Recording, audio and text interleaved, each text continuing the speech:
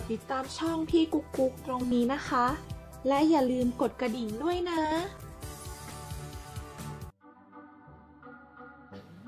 บรรยากาศดีอย่างนี้ต้องกินแบบนี้เลย โมจิไทยฮ่าโมจิคนเมือง อีทำอะไรของเธอเนี่ย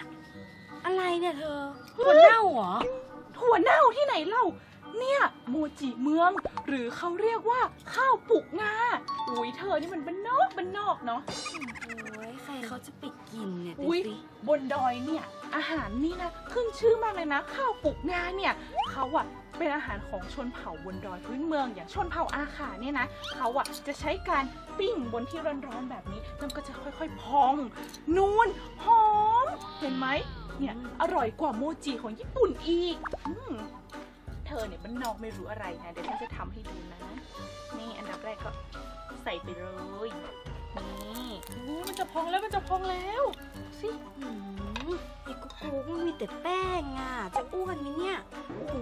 กินคาร์โบไฮเดรตอ้วนนิดอ้วนหน่อยจะเป็นอะไรไปล่ะ เธอรู้ไหม ถ้าอ้วนนะแล้วออกกำลังกายก็จะกลายเป็นหมูที่แข็งแรง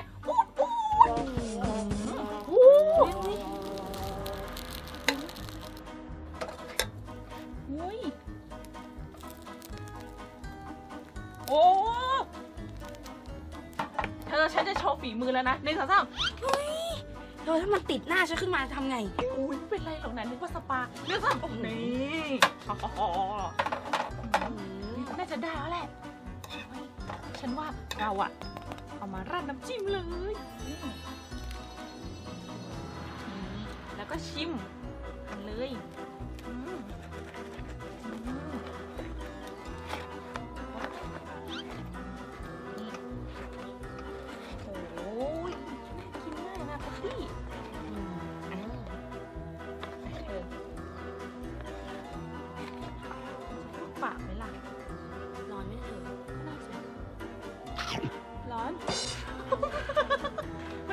มันร้อนมากเลยกินไม่ได้ยังไงเนี่ย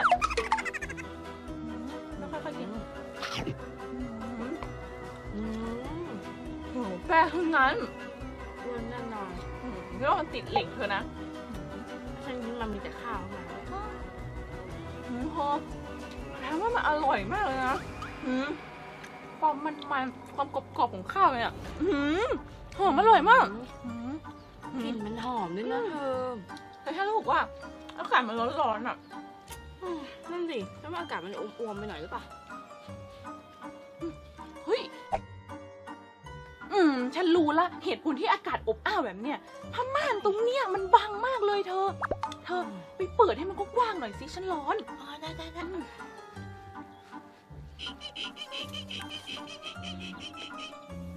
ได้หรือยังเธอ โอเค โอเค มาเลย มาเลย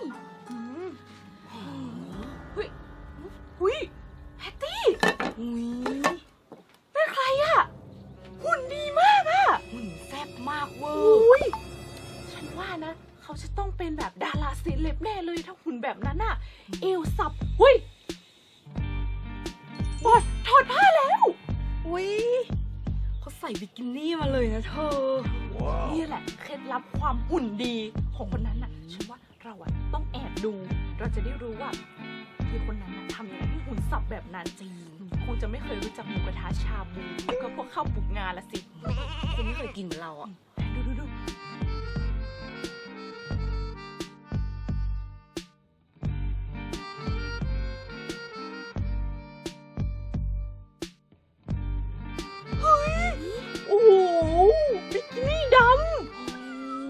ำแซ่บมาก ฉันต้องใส่บ้างแหละแต่ถ้าฉันใส่มันจะเป็นแหนมมัดอะสิเคล็ดลับความคุณเดี๋ยวนะ ฉันว่ามันแปลกๆฮะทำไมเล็บยาวๆอะ เทนเขาหรือเปล่าเขาชอบแบบไว้เล็บยาวๆสีดำๆใส่หรือฝเปล่าออย่างเงี้ยเหรอเออดูต่อดูต่ออุ้ยเขาขัดผิวอะเธอ